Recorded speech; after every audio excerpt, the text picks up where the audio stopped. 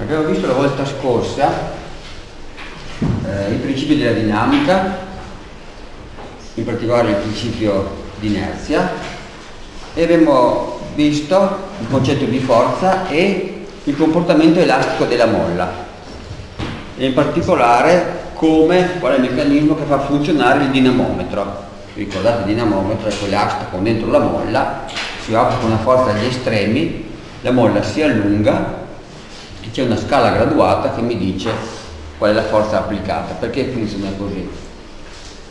Perché la molla, che è il prototipo del corpo elastico, se viene deformata, reagisce alla deformazione con una forza che tende a riportare la lunghezza di equilibrio e la forza elastica, cioè la forza in cui la molla reagisce, è proporzionale alla deformazione nel caso della molla si tratta solo di, di aumentare di aumento o diminuzione della sua lunghezza e eh, è diretta in verso opposto al, alla deformazione se la molla viene allungata la forza tende ad accorciarsi se viene accorciata la molla tende ad allungarsi ok?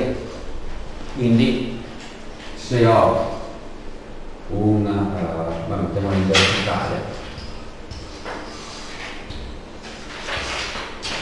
se applico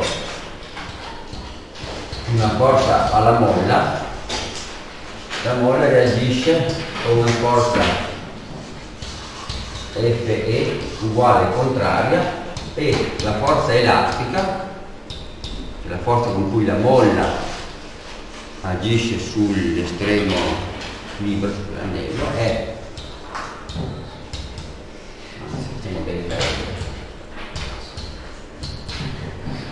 proporzionale a questo delta L che è un vettore allungamento, cioè lunghezza attuale meno lunghezza di riposo. Per lunghezza possiamo intendere il vettore che dà la posizione dell'estremo libero, cioè da questo punto a questo punto. Se quello aumenta la mola viene allungata, quindi in questo caso il vettore del tail è verso il basso. Se invece la molla viene accorciata, allora il vettore allungamento è verso il basso e la forza è verso l'alto e viceversa. Ok? Questa relazione viene chiamata legge di Hooke e i corpi elastici si comportano in questo modo cioè hanno una, la possibilità di essere deformati da una causa esterna che è una forza e eh, la deformazione è proporzionale all'effetto deformante, cioè alla forza, e una volta che viene rimossa la causa deformante, cioè la forza, tornano nella forma iniziale. Ok? Bene, abbiamo anche visto in laboratorio il comportamento elastico studiando qual è la relazione tra la forza applicata e l'allungamento e per farlo abbiamo usato un'altra forza che è la forza peso. Ok? e quindi questa quanto riguarda la forza elastica.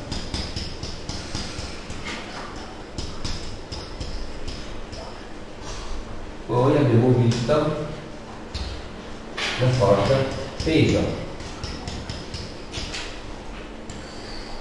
del terreno. L'anno scorso avevo già studiato il moto dei gravi.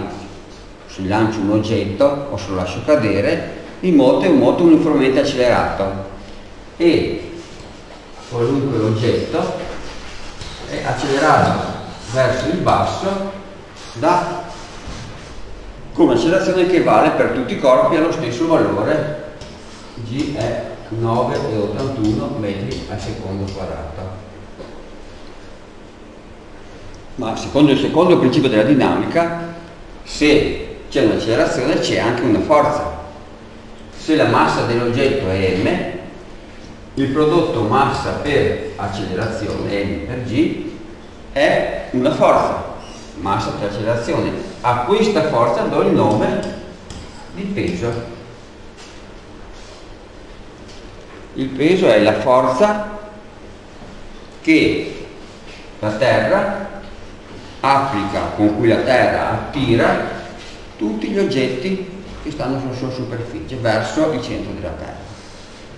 Siccome sulle scale di tutti i giorni il suolo è approssimabile come un piano, in realtà è una superficie curva, in grande scala, ma noi possiamo approssimare come una superficie piana, allora l'accelerazione è un vettore che in tutti i punti punta verso il basso e ha ovunque la stessa grandezza. L'accelerazione è la stessa per tutti in tutti i punti. D'accordo? Più avanti vedremo un po' meglio come funziona G. Questa è solo un'approssimazione se io sto sulla superficie della Terra e non me ne discosto molto. Quindi, prima cosa importante, attenzione alla differenza tra peso e massa. La massa è uno scalare ed è la stessa in tutti i posti. Okay? Il peso è un vettore che dipende dalla massa ma dipende anche dall'accelerazione di gravità che sulla Terra ha un certo valore, sulla Luna ne ha un altro, su Marte ne ha un altro, dipende da qual è il soggetto che causa l'accelerazione di gravità. D'accordo? Mentre se io peso un oggetto sulla Terra trovo un determinato peso, se lo stesso oggetto con la stessa massa lo peso sulla Luna, con la stessa bilancia, trovo un peso diverso. Perché la bilancia mi dice questo numero, non questo, se è tarata sulla Terra. Non perché la massa dell'oggetto sia diversa, ma perché è diverso il G sulla Luna G è circa un sesto di quello che è sulla Terra. La Terra è 9,81, sulla Luna è 1,6 metri al secondo quadrato. Quindi se vado sulla Luna faccio una cura dimagrante istantanea perché peso un sesto di quello che peso sulla Terra. Ma la mia massa rimane uguale. Che significa la massa rimane uguale? Significa che se io do un calcio a un pallone di piombo, anche se il pallone di piombo sulla Luna pesa un sesto di quello che è sulla Terra, mi disfo il piede nello stesso identico modo, perché la massa del piombo è la stessa. Io mi faccio male al piede perché colpendolo, calciandolo, subisco la stessa forza, principio di azione e reazione. E la forza con cui il piombo reagisce è proporzionale alla sua inerzia. Quindi mi faccio male nello stesso identico modo, anche se su sulla Luna la palla di piombo pesa un sesto di quello che pesa sulla Terra, ma la massa è la stessa. Ok? Tutto chiaro? Esercizio.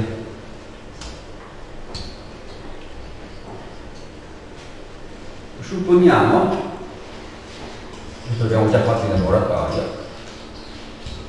di apprendere un corpo di massa M pari a 5 kg ha una molla di costante elastica K e che la molla si allunghi di un tratto delta L pari a 2 cm. Quanto vale la costante elastica della molla?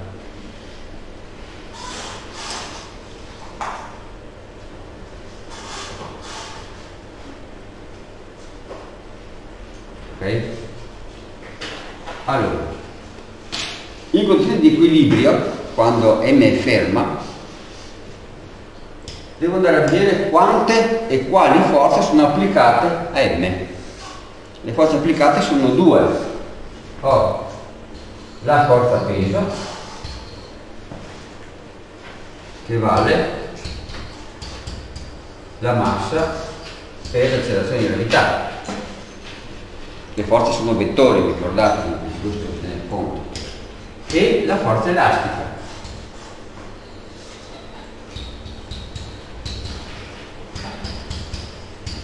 Vale meno k volte delta L. Se le due forze sono in equilibrio, significa che la loro somma vettoriale, cioè la forza risultante, vale 0. Primo principio della dinamica.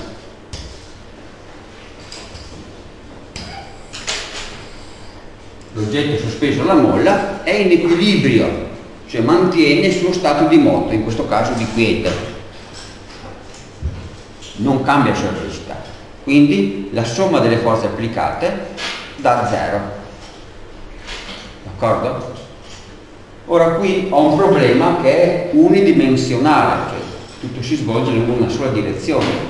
Posso proiettare i vettori lungo l'asse verticale, prendendo per esempio come asse positivo quello verso il basso. Verso l'alto sarebbe identico, ok? Basta scegliere una convenzione. Mi prendo un cosa lo disegniamo nell'azzurro l'asse verticale che descrive il mio sistema, dico che qui c'è l'origine oh, e misuro la posizione del corpo M rispetto a ora. Ok?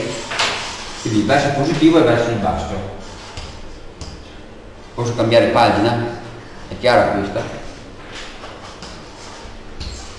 In questo modo la forza peso che è diretta verso il basso ha un segno più. Posso togliere il segno di vettore perché li proietto sull'asse verticale. M volte G. La forza elastica, che invece è diretta verso l'alto, ha un valore negativo, perché il mio verso positivo è verso il basso, quindi meno K è l'allungamento della molla. Ok? Quindi P più FE deve fare 0 P, anzi scusate cioè mg meno k delta L è uguale a 0 la mia incognita vi ricordo che è k quindi meno k delta L uguale a meno mg k vale mg fratto delta L.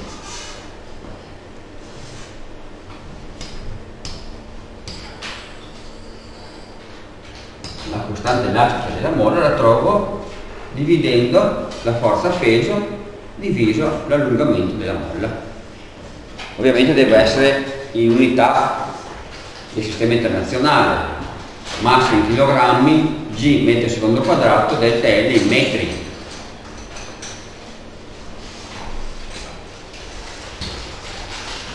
Scappa la scrivo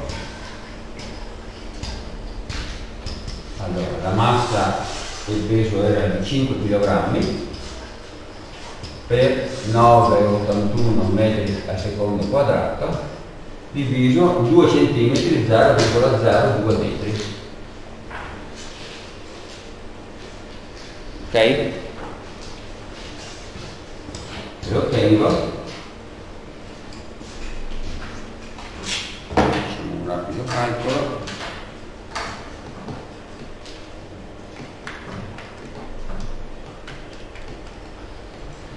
2452.5 newton fratto metro chilogrammi metro su un quadrato è l'unità di misura della forza che è newton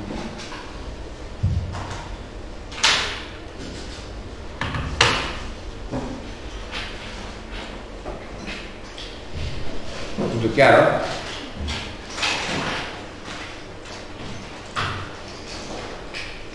Questa è la K della mia molla. Ok? Domanda. Che di quale forza avrei bisogno se volessi comprimere la molla di un tratto di 5 cm la stessa molla di prima voglio accorciarla di un tratto pari a 5 cm. Che forza mi serve?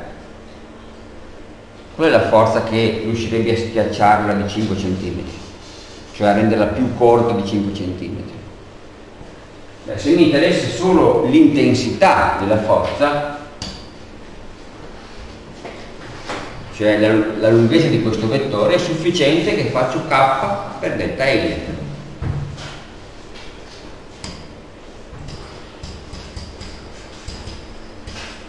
Cioè 2452.5 newton fratto metro per 0,05 metri.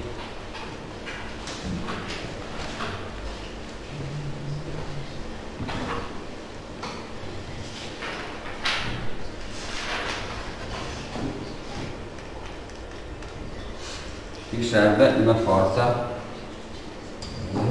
scrivo qua, di 122,625 newton.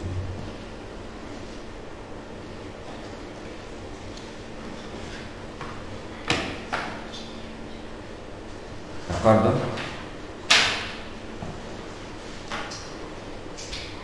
Tutto chiaro?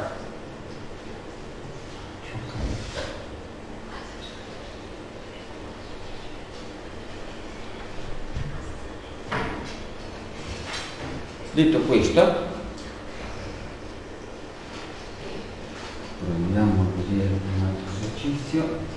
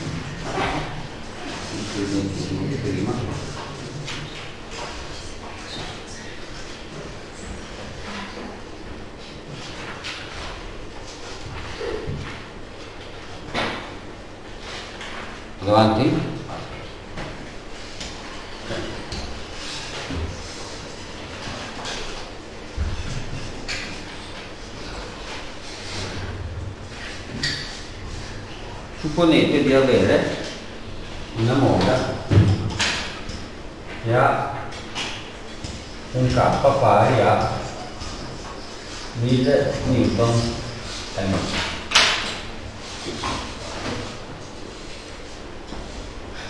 Una mola abbastanza liquida.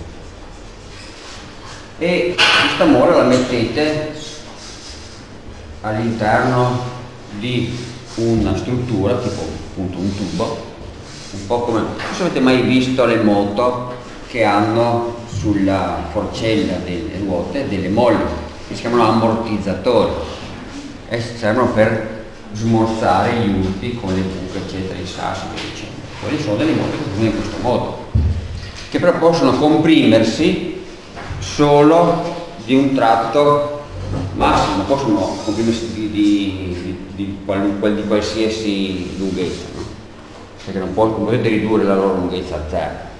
E supponiamo che la mia molla abbia una compressione massima, per come è fatta, per dove si trova, di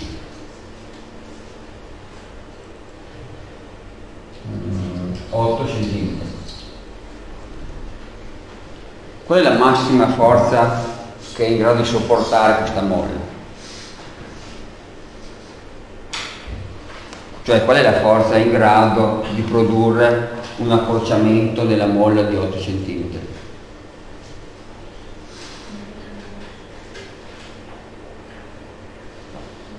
Nessuna, nessuna proposta? Perché diviso? La, la forza è K volte delta L, non diviso. Quindi la forza massima a cui è in grado di resistere questa molla senza rompersi o senza procurare danni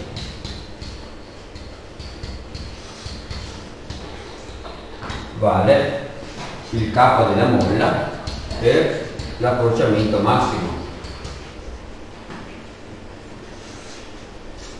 ok quindi 1000 newton al metro per 0,08 metri. Cioè 80 newton.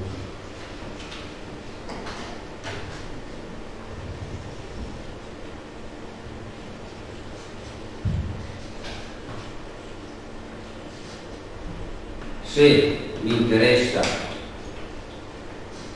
fare in modo che la forza massima applicabile sia più grande, devo aumentare K.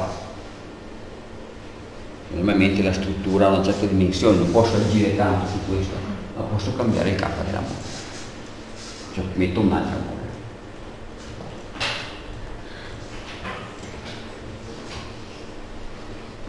Tutto chiaro? Bene.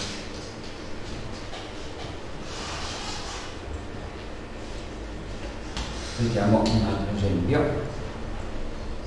Passiamo alla forza peso, forza elastica, tutto sommato mi sembra che abbiamo detto abbastanza. Prendiamo il pavimento,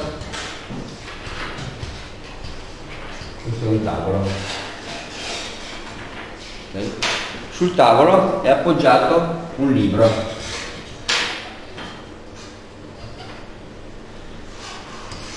fin tanto che appoggio il tavolo, tavolo orizzontale ci appoggio sopra un libro.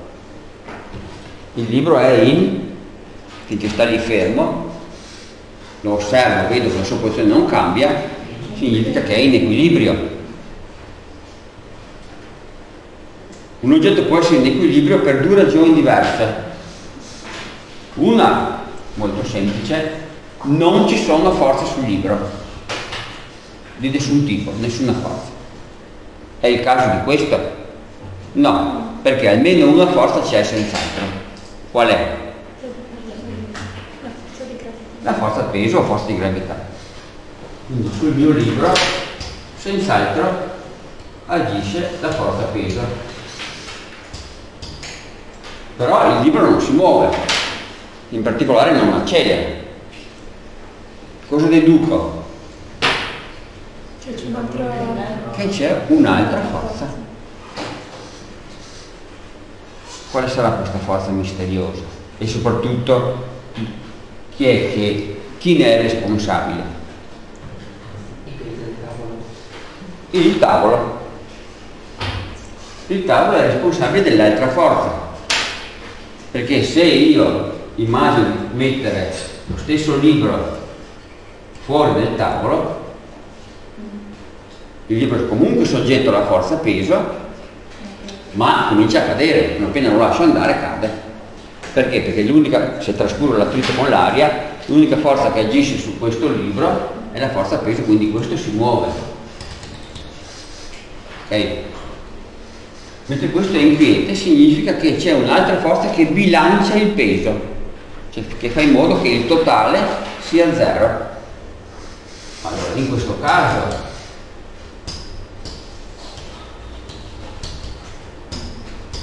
forza risultante è uguale alla forza peso che non è zero e quindi il corpo si muove. In questo caso invece, nel caso del libro sul tavolo, la forza risultante sarà uguale al peso più a una forza che non conosco e il totale deve fare zero. La forza che non conosco è dovuta al tavolo e eh, per bilanciare il peso come deve essere fatta? Se ho due forze, due vettori, affinché il totale sia zero, i due vettori devono essere esattamente uno opposto dell'altro, stessa direzione, stessa lunghezza ma verso opposto. Questa cosa prende il nome di reazione vincolare.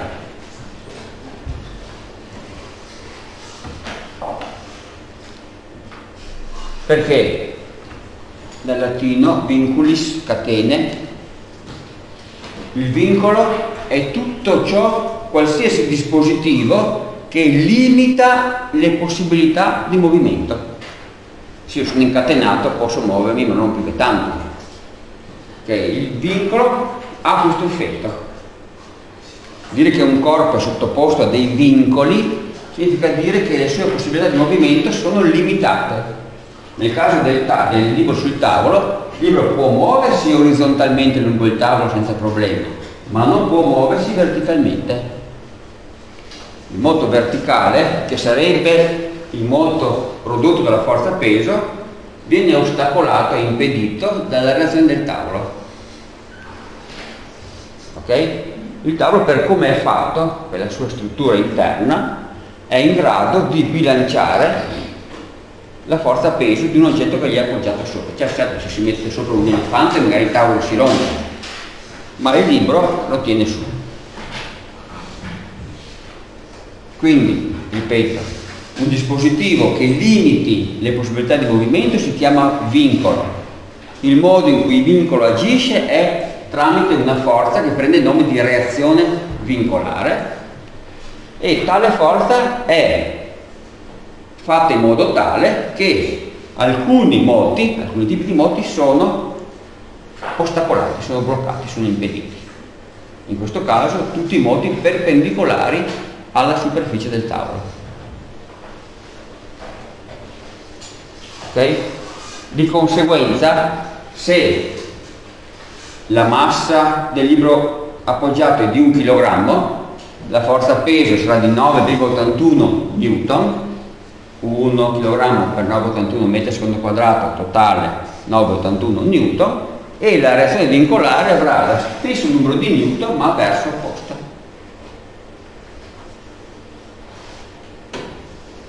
Ok?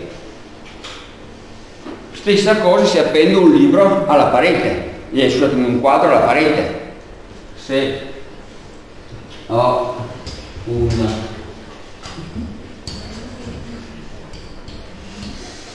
un quadro che metto un chiodo, okay? il chiodo impedisce i moti verticali, consente al quadro di oscillare, ma non lo fa cadere. Questo è un vincolo. Quindi reagisce con una forza che fa sì che il peso del quadro sia bilanciato dalla presenza del chiodo. Chiaramente ogni vincolo è un vincolo che può agire se la sollecitazione a cui è sottoposto non supera determinati limiti. Vedi il peso dell'elefante sul tavolo. Okay. Entro determinati limiti il vincolo funziona, altrimenti si dice che il vincolo si rompe o che non è più in grado di esercitare la sua reazione. Okay.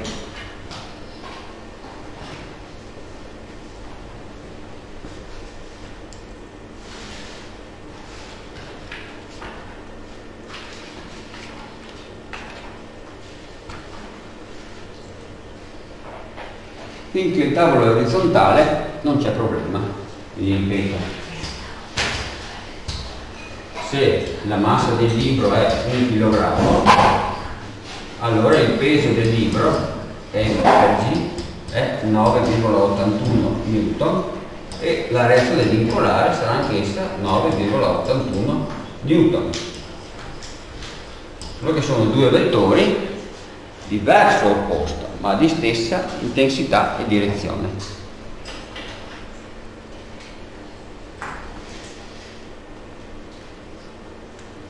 Ok? Lo stesso effetto posso averlo per esempio, non so se ricordate, posso andare avanti?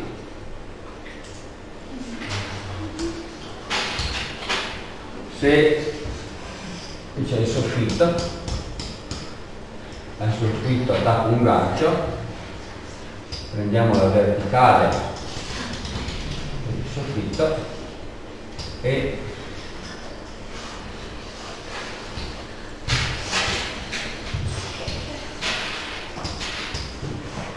allora, al soffitto appendo un filo a cui attacco un oggetto di massa n quello che abbiamo visto l'anno scorso col pendolo Quando il pendolo è in equilibrio lungo la verticale, sull'oggetto sospeso agiscono quante forze? La forza di verità. Una e una reazione vincolare, che in questo caso è dovuta non a un tavolo ma alla presenza del... Che cosa c'è che tiene su il, il, il pendolo? Il filo. Quindi il nostro pesetto appeso è soggetto alla forza peso e a una reazione vincolare che prende il nome di tensione il filo è in tensione, è teso. La tensione del filo è ciò che bilancia il peso e tensione più il peso se il filo, ripeto, il pendolo è in equilibrio sulla verticale deve dare risultato nullo.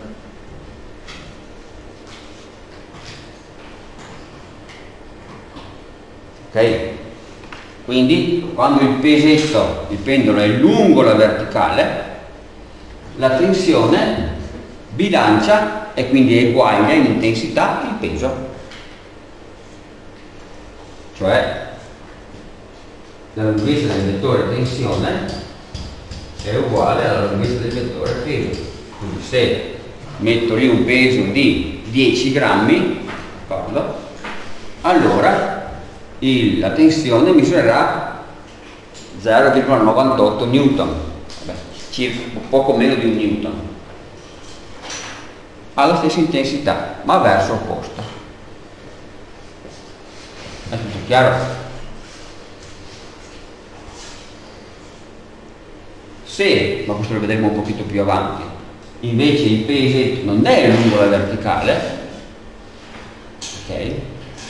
allora la tensione e il peso non sono più allineati e se ho due vettori, ne ho solo due, ripeto trascuriamo l'attrito con l'aria, che non sono allineati, posso avere la situazione di equilibrio, cioè due vettori possono bilanciarsi? No. Se su un punto applico due vettori, se questi non sono paralleli, non potranno mai bilanciarsi. Infatti se sposto il pesetto dalla verticale, questo si muove e lo lascio andare, non sta fermo. Perché le due forze, non importa quanto valgono, ma non possono bilanciarsi, non saranno mai opposte, avranno direzioni sempre diverse. Peso sempre verticale e la tensione è sempre diretta lungo il filo. Io può avere un parallelo. Ok?